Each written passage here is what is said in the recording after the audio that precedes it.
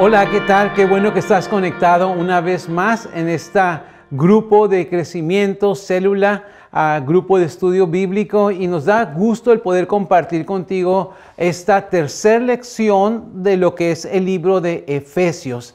Y hemos estado hablando durante estas semanas acerca de qué es lo que Dios está haciendo y trabajando en la vida de cada uno de nosotros. Seguramente tú ya tienes las lecturas bíblicas que estuvieron viendo durante la semana y lo único que queremos hacer hoy es hablar, hacer un resumen de todo lo que estuvimos viendo y hablando para que podamos nosotros entonces trabajar en lo que es esta, esta lección. Y hoy vamos a hablar acerca de la unidad en el cuerpo de Cristo. Y mira, yo quiero comenzar con un par de preguntas que quiero que tú puedas reflexionar, que puedas pensar, que puedas ah, meditar en ellas. Y, yo quiero que, que tú pienses esto, lo siguiente.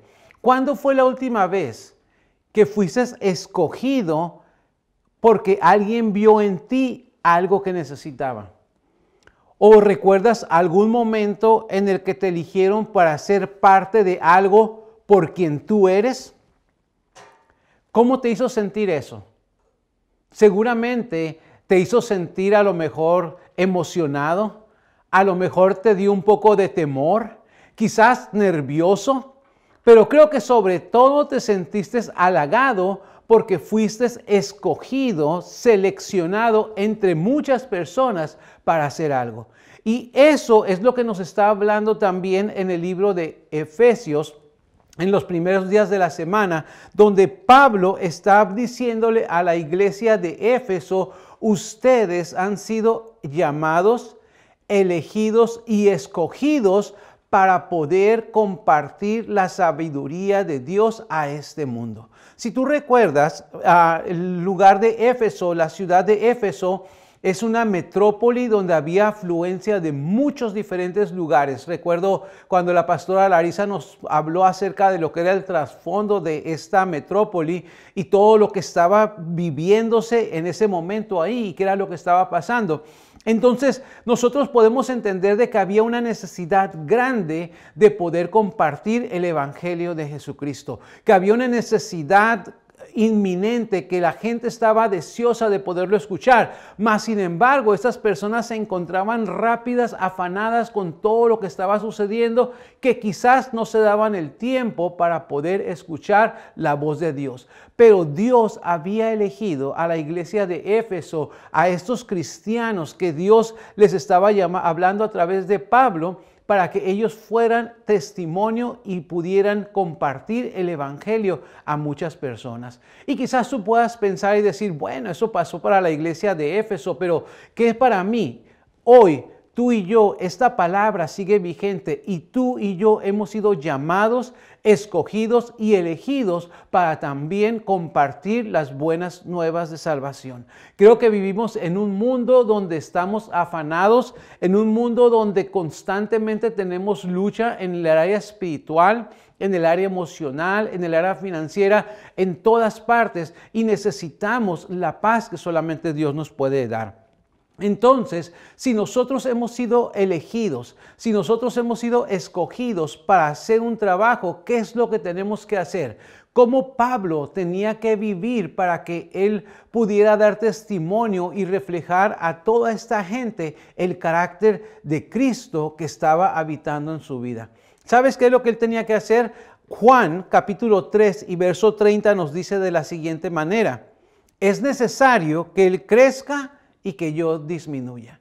Nosotros tenemos que aprender a dejar que Dios crezca en nuestra vida y a nosotros disminuir. En otras palabras, hay que empezar a morir a nuestro yo a nuestros conceptos, a nuestras perspectivas, a lo que nosotros creemos. Nosotros tenemos que aprender a dejar de confiar en lo que nosotros somos y dejar que Cristo moldee nuestro carácter, moldee nuestra vida, afianzarnos en lo que Él está haciendo en nosotros y en lo que su palabra nos enseña, de tal forma que podamos reflejar a Cristo en donde quiera que nosotros vayamos. Que la próxima vez que alguien te vea, en vez de pensar, o oh, ahí viene Marcos, o ahí viene Larisa, o ahí viene, no sé, Diana, a quien sea, el nombre que tú quieras poner, sabes que digan, ahí viene ese hombre que es, eh, refleja a Cristo, que refleja que es un siervo de Dios, que es una sierva de Dios, una mujer entregada, una mujer íntegra, una mujer que ama a Dios. Nosotros tenemos que aprender a hacer eso.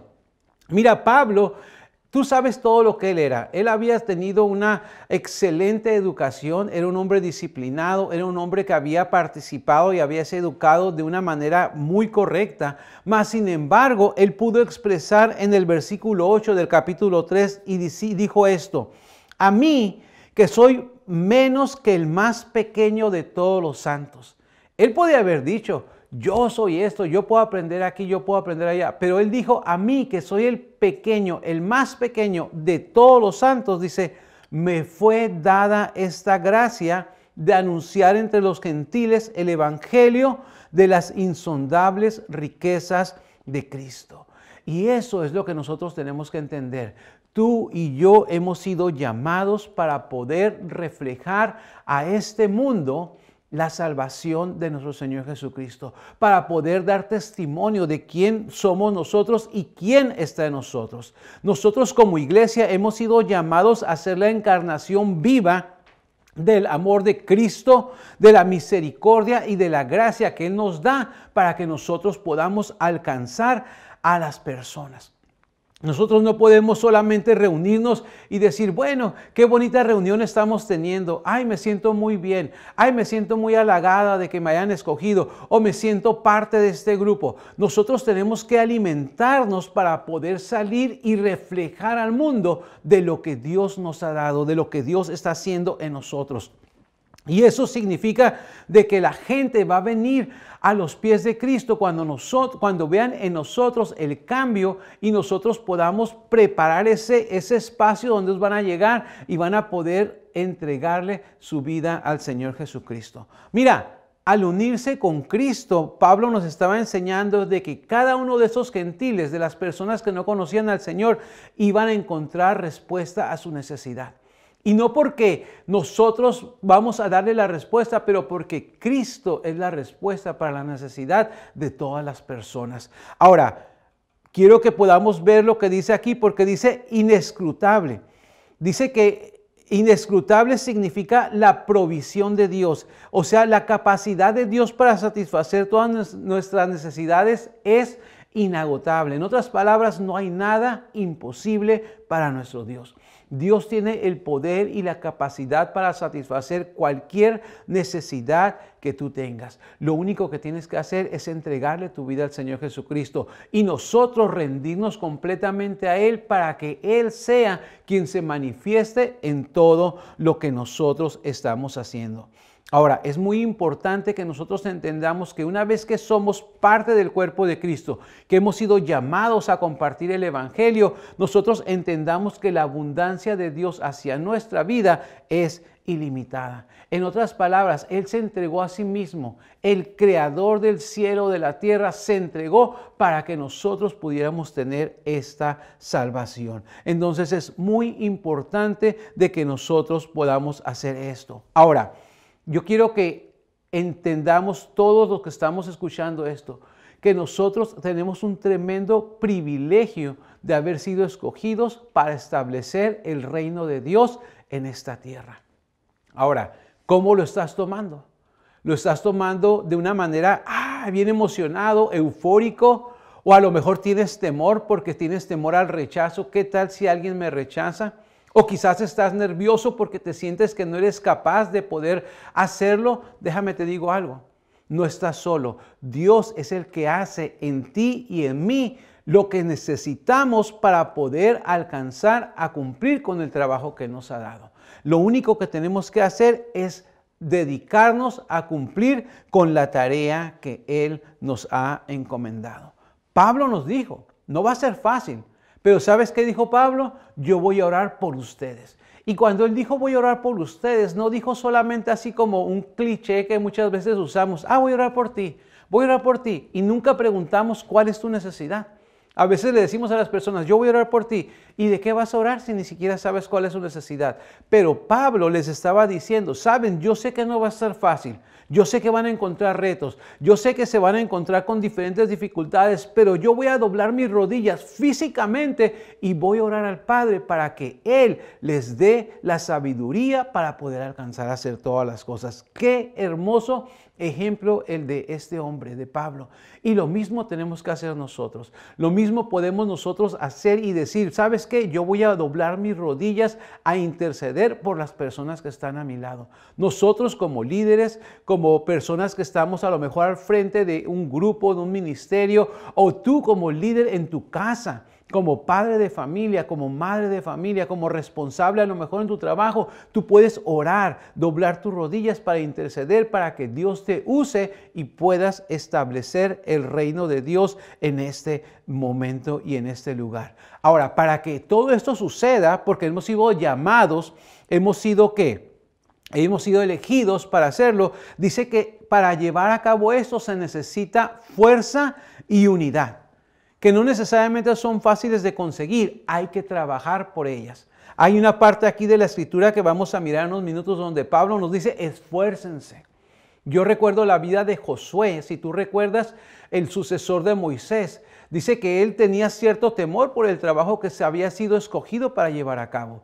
Pero dice la palabra del Señor, como diez veces le dijo en los primeros, en el primer capítulo, esfuérzate y sé valiente, esfuérzate y sé valiente. Nosotros tenemos que entender que para lograr la unidad en el cuerpo de Cristo necesitamos esforzarnos, necesitamos trabajar juntos para poderlo hacer. ¿Y sabes por qué trabajamos juntos?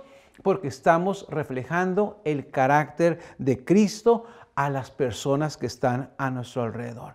Cada uno de nosotros necesitamos que el Espíritu Santo habite en nuestras vidas para poder trabajar en unidad con las demás personas. Mira esto, una elección hecha a nivel individual, pero que reproducirá un resultado colectivo.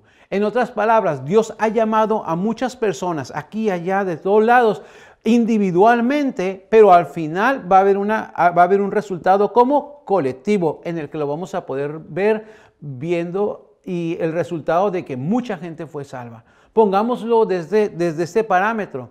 Cuando Jesucristo estuvo aquí en la tierra, Él habló a muchas multitudes, pero Él se derramó en quién? En los doce, en las doce personas, los doce discípulos que estaban ahí. Y ellos se encargaron de cuando Jesús ya no estaba aquí, de compartir las buenas nuevas de salvación y se fueron alcanzando las personas, muchas, y mira, hasta el día de hoy sigue vigente. ¿Por qué? Porque hubo personas que se trabajaron, que se unieron, que se esforzaron para poder llevar a cabo el, amor, el, mensaje de salvación a las personas que lo estaban necesitando. Entonces, la raíz de este tipo de unidad, dice, está basada en el amor de Cristo.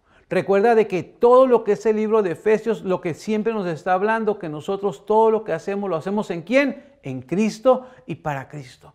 Nosotros por nosotros mismos no lo vamos a lograr, pero cuando nosotros nos ponemos en las manos de Dios y lo hacemos en el nombre de Jesús, quiero decirte que aún lo que tú crees que no puedes alcanzar, lo vas a lograr hacer.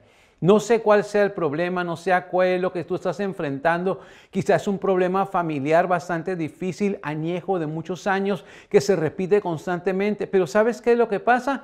Que nosotros tenemos que orar, pedirle a Dios que Él entre en nuestras vidas y entonces vas a ver cómo ese problema se va a ir. ¿Por qué? Porque Cristo te va a dar la fuerza para poder seguir adelante y lograrlo. Entonces es muy importante que lo hagamos. Mira lo que dice Efesios 3, 20 y 21 que estuvimos leyendo durante esta semana. Ahora bien, al que pueda ser mucho más abundante de lo que pedimos o entendemos, según el poder de la obra en nosotros, a Él sea gloria en la iglesia y en Cristo Jesús por todas las generaciones, por los siglos de los siglos. Amén. Amén significa así sea. En otras palabras, dice, aún mucho más de lo que nosotros podemos imaginar mucho más de lo que nosotros podemos entender. Eso es lo que Dios puede hacer. Yo sé, a veces es difícil decir, pero es que yo no puedo trabajar con esta persona. Es que mi esposo o mi esposa, mis hijos no entienden. Yo no sé qué hacer con ellos. ¿Sabes una cosa? rinde tu vida al Señor Jesucristo, dile, invítalo a que el Espíritu Santo venga a tu vida y Él sea el que te dé la dirección. Y sabes qué, aún lo que tú no entiendes, lo que crees que es muy difícil, a través de la unción de Dios, tú vas a poder vencer y vas a poder conquistar y superar cualquier situación o problema. Déjame te digo algo y te recuerdo algo, no estamos solos. Cristo está con nosotros. Tenemos al Espíritu Santo en nosotros para poder alcanzar el trabajo y, y cumplir con la tarea que Dios nos ha, ha dado a cada uno de nosotros. Es bien importante entonces que nosotros podamos trabajar en unidad. Ahora, también dice que Pablo continúa animando a las personas para que puedan saber quiénes son ellos. Pablo les dice, mira, mantengan la cabeza en alto. Ustedes valen mucho. Dios los ha elegido, así es que actúen como tal. Tú y yo hemos sido escogidos de parte de Dios. Y como hijos de Dios, nosotros valemos mucho y nosotros podemos entregar mucho no está basado en tus capacidades académicas, en tu conocimiento intelectual o en tus experiencias. Está basado en que tú eres un hijo de Dios y que como hijo de Dios Él te va a usar para poder impactar la vida de muchas personas. Pero necesitamos asegurarnos de mantenernos de esa manera como hijos de Dios y saber que como hijos de Dios, aunque haya problemas, aunque haya circunstancias difíciles, nosotros vamos a poderlas superar y las vamos a vencer. Qué hermoso es escuchar palabras de ánimo. Seguramente en la dinámica que acabamos de hacer o que hicieron ustedes en su grupo, hubo una palabra que te animó a seguir adelante. Hubo una palabra que a lo mejor te dijo, ¿sabes qué? No esperaba que esa persona me dijera algo o me dijera esto y nosotros, y la acabo de recibir y fue una palabra de afirmación. Es hermoso. Pablo les estaba animando a que ellos siguieran adelante. Ahora, te voy a hacer una pregunta también porque quiero que la reflexiones. Tú tienes amigos que te dirán la verdad a pesar de que te duela? ¿Tendrás algún amigo que te va a decir la verdad aún aunque te duela? ¿O tienes amigos que te recuerdan y te digan quién tú eres? Sabes de que si tú tienes amigos como estos, es un buen tiempo para llamarlos y agradecerles y decirles gracias por ser mi amigo. Gracias por estar al pendiente de mí. Gracias por animarme a seguir adelante. Y cuando estoy mal, me lo haces ver también para poder enderezar el camino por el que estoy yendo. Es importante que lo hagamos. Una vez escuché esta frase y me llamó mucho la atención porque dice de la siguiente manera, un amigo no es el que te dice lo que quieres escuchar. Un amigo es aquel que está dispuesto a herirte con tal de salvarte. Yo cuando yo leí esto dije yo, wow, es cierto. Yo recuerdo cuando estaba chico y me gustaba mirar esas películas de acción, ¿verdad? Y el muchacho, ah, el, el, protagonista se, enfrentaba a 30 personas con una pistola y todos traían metralletas y le disparaban y nadie le pegaba. Pero al final siempre salía que le pegaban en un hombro o en una pierna, le ponían una bala. Y él iba donde una persona, amigo de él, de confianza, ¿y qué hacía esa persona? Ay, no estás herido, ¿verdad? No, ahí te voy a dejar porque si te saco la, la, bala te va a doler mucho. No, no, no voy a hacer eso. No, el amigo que hacía, agarraba un cuchillo, unas tijeras, las calentaba para quitarlas, el, todo el microbio, lo que sea, y dice que con dolor le ponía una toalla en la boca y la mordía para poderle sacar eso, ¡pum!, que le podía causar la, muerte. ¿Y qué hacía? Le, lo ayudaba aunque le estuviera doliendo, pero le estaba salvando la vida. Muchas veces no vamos a escuchar lo que queremos, pero ¿sabes qué? Nos vamos a escuchar lo que la verdad es y qué es lo que tenemos que corregir para poder nosotros ayudarte a enderezar tu vida de tal manera que puedas irte al cielo y tener la vida eterna que Cristo nos da. Recuerda lo que Jesucristo dijo en Mateo 18, 9 dice, si tu ojo es causa de pecar, es mejor que lo saques y entres tuerto al cielo que con los dos ojos al infierno. Tremendo. Y, y mira, quien lo dijo, no solamente dio su ojo o una pierna o un brazo, Él entregó su vida por ti y por mí para que fuéramos salvos. Así es de que un amigo verdadero es aquel que te va a decir la verdad aunque no sea lo que quieras escuchar, pero te va a decir la verdad para que tú puedas cambiar esa manera de pensar, esa manera de vivir y para que puedas guiarte a llevarte al cielo y que puedas tener ese regalo de la vida eterna que Dios nos ha dado. Es muy importante de que nosotros lo hagamos. Ahora, ¿cómo lo vamos a hacer? Lo vamos a hacer también, dice, a través de la humildad, a través de ser amables, a través de ser pacientes y soportándonos los unos a los otros. En el versículo 3 ah, del capítulo 4 nos dice, esfuércense por mantener la unidad del Espíritu mediante el vínculo de la paz. Una vez más esa palabra unidad y ahora incluye la palabra paz. Es importante que nosotros mantengamos ese vínculo. Son dos áreas muy importantes que debemos de tener. Ahora, yo te pregunto algo. ¿Tú quieres tener paz en tu casa? ¿Quieres tener paz en tu trabajo?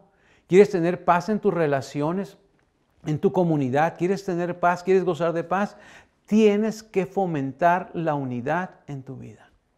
Tienes que fomentar la unidad en tu casa, en tu trabajo, en donde quiera que tú quieras paz. Porque si no hay unidad, no va a haber paz va a haber desorden, va a haber caos, va a haber cosas que no están bien delante de Dios. Entonces nosotros tenemos que aprender a fomentar la unidad. Tienes que buscar maneras de cómo hacerlo. ¿Cómo puedo yo fomentar la unidad? Ahora, quiero hacer una diferencia entre la unidad y la uniformidad, porque son dos cosas completamente diferentes. La uniformidad es donde todos nos vestimos, adoramos, comemos, y bebemos de las mismas cosas. O sea, en otras palabras, todos nos vestimos de la manera igual, todos con una corbata o una camisa blanca o un pantalón como cuando íbamos a la escuela y teníamos que ponernos un uniforme. Ahí eso, eso es uniformidad. Pero unidad es trabajar juntos con un mismo propósito. Y eso es lo que estamos hablando. Nosotros necesitamos trabajar juntos con un mismo propósito, con diferentes dones, con diferentes talentos, con diferentes llamados que Dios ha puesto, que nos ha dado, pero todos con el mismo propósito. ¿De qué? De reflejar a Jesucristo en nuestras vidas de tal forma que impacte la vida de otras personas y deseen venir al conocimiento de Jesucristo. Eso es lo que nosotros tenemos que hacer. Nosotros debemos entender que somos un cuerpo y así como en el cuerpo tenemos diferentes ah, miembros, así también en el cuerpo de Cristo hay diferentes miembros con diferentes capacidades, habilidades, pero todos con un mismo propósito.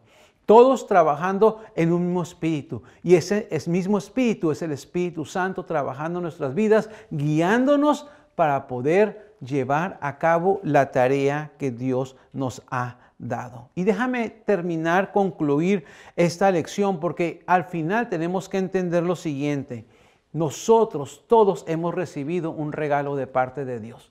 Ese regalo es la salvación ya lo tenemos. Pero no solamente tenemos la salvación, sabes de que Dios ha puesto dones y talentos en la vida de cada uno de nosotros. Y esos dones no son solamente para edificación personal. Dice la palabra del Señor que en su gracia Él nos ha dado dones para la edificación del cuerpo de Cristo.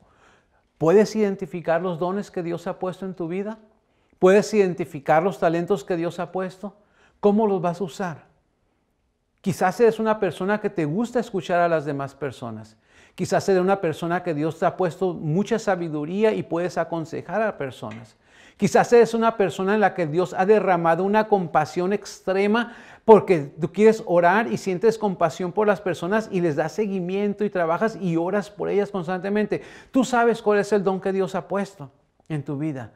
Ponlo a trabajar para el cuerpo de Cristo, para edificación de la iglesia y para poder impactar la vida de otras personas. Pero yo quiero que tú entiendas esto. La tarea que Dios nos ha dado no es una tarea donde solamente nos dejó y nos la dio y digo, ahí hagan lo que ustedes puedan hacer. Dios nos capacitó para que nosotros lo podamos hacer. Dios nos dejó al Espíritu Santo para que viniera y posara en nosotros y ahora a través de su dirección y de su guía nosotros podamos impactar y seguir siendo llamados, escogidos y elegidos para establecer el reino de Dios en este mundo. Déjame terminar y concluir diciéndote lo siguiente. quiero poner dos preguntas y que quiero que te las lleves y que tú puedas pensar y meditar en ellas y cómo las pueden trabajar. Incluso como grupo las pueden trabajar. ¿Cómo podemos buscar mantener y fomentar la unidad y la paz con otros creyentes que piensan de manera diferente? Siguiente pregunta. ¿Cómo debemos usar los dones que Dios nos ha dado y cuál es su propósito? Es una buena pregunta para que tú puedas ponerla en práctica y te pueda ayudar también a dar dirección para cumplir este llamado. Qué hermoso ser escogidos. Qué hermoso ser parte del cuerpo de Cristo. Yo te animo para que tú puedas seguir adelante. Yo te animo para que tú digas, ¿sabes qué? No más a estar cómodo, no más a estar haciendo lo que yo quiero. Hoy yo empiezo a menguar, a disminuir para que el carácter de Cristo se refleje en mi vida y yo pueda dar testimonio de lo que Dios me ha llamado a hacer te voy a invitar a que inclines tu rostro y vamos a orar y vamos a poner este tiempo en las manos de Dios. Padre, te damos gracias, Dios, por tu palabra. Te agradecemos, Señor, por esta carta que Pablo escribió a la iglesia de Éfeso y cómo aún a través del tiempo, Señor, esta palabra sigue vigente para la vida de cada uno de nosotros. Te agradecemos, Señor, que aunque no estábamos allí, Todavía, Señor, podemos aplicar esos principios, estas verdades a nuestra vida que nos llaman, Señor, a poder entender la tarea que tú nos has dado, Dios. Hay momentos, Señor, en los que necesitamos ser humildes. Hay momentos en los que tenemos que ser amables. Necesitamos aprender a soportarnos unos a otros en amor y para que podamos también tener esa paz y esa unidad que tú nos llamas a tener como un solo cuerpo y en un mismo espíritu. Que tu Espíritu Santo sea el que nos guíe, nos dirija y que traiga, Señor, esa unidad que necesitamos para poder llevar a cabo esta tarea que tú nos has dado, Dios. Señor, te agradecemos por este recordatorio y no importa, Señor, cuál sea la situación que estemos pasando. Tú sabes, tú la conoces, Señor, y tú nos darás la fuerza para poder seguir adelante. Que tu palabra, Señor, sea viva en cada uno de nosotros de tal forma que podamos confiar solamente en ti, no en las personas, Señor, pero en lo que tú, Señor, has hablado y las promesas que has puesto para tus hijos. Dios, te amamos y declaramos, Señor, que hoy tú traes, Señor, a nosotros ese deseo, esa pasión, Señor, que el temor se va, que los nervios se van, Señor, y que todo aquello que nos había detenido en el nombre de Jesús es derribado y hoy, Señor, nos soltamos para poder reflejar tu amor, tu carácter, Señor, en nuestra vida y mucha gente pueda ser impactada y conocer, Señor, de ti a través de lo que tú estás haciendo en cada uno de nosotros. Gracias te damos, Dios, por tu palabra y todo esto lo pedimos en el dulce y amoroso nombre de nuestro Señor Jesucristo. Amén y amén.